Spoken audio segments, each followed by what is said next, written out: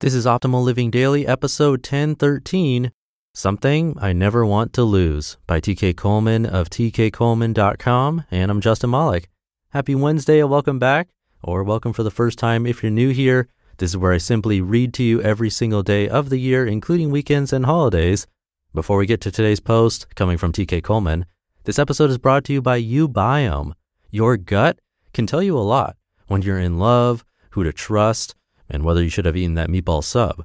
But sometimes your gut can be hard to decode. That's where Smart Gut can help.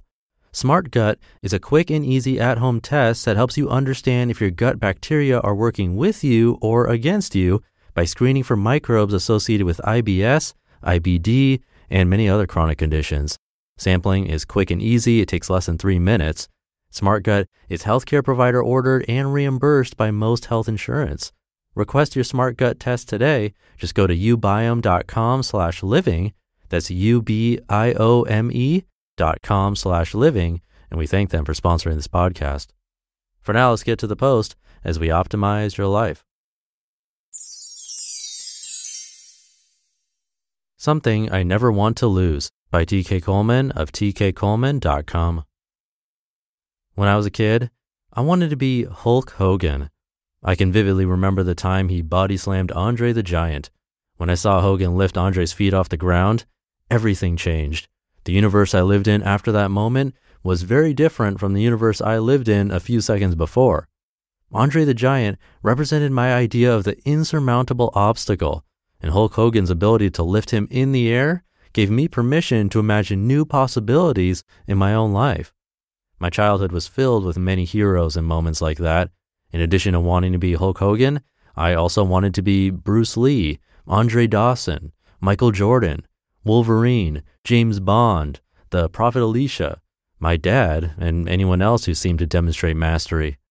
Years ago, Gatorade did a commercial about Michael Jordan featuring a song called Be Like Mike. Here are the lyrics.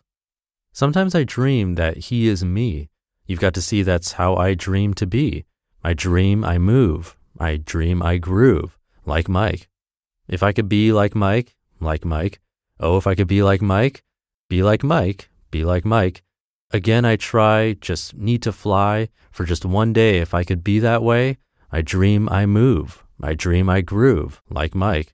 If I could be like Mike, I want to be, I want to be like Mike. Oh, if I could be like Mike. When I first saw that commercial on television, my heart fluttered and my eyes lit up. I felt like I could reach out and touch the possibility of being like Mike. Maybe I would never dunk a basketball, but perhaps I could someday be a high flying, game defining, championship winning person in my own unique way. Being a fan of other people's greatness has always come easily for me. Most of my education comes from lessons I've learned through observing people I admire. When you're a kid, it's cute to look up to everyone who's older than you. Everyone loves it when you put on your dad's oversized clothes or when you try to act like your older siblings because you think they're the definition of cool. But a big part of growing up means finding your own voice and learning to embody your own unique sense of what it means to be cool. At some point, you have to learn to celebrate what Michael Jackson called the man in the mirror. I've done a lot of inner work over the years, and I can honestly say that I have learned how to love myself. Ironically, however, my increased sense of self love and self respect has only made me more childlike in my admiration of other people's brilliance. I have more heroes today than I ever did as a child.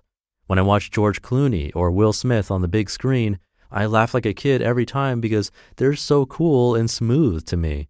When I watched Klay Thompson score 37 points in one period without missing a single basket, I jumped up and down as if that were my big brother on the court, even though I'm older than Klay. When I say I'm impressed by guys like this, I don't just mean that in some casual, distant sense. I mean that like a seven year old kid who wants to be like those guys.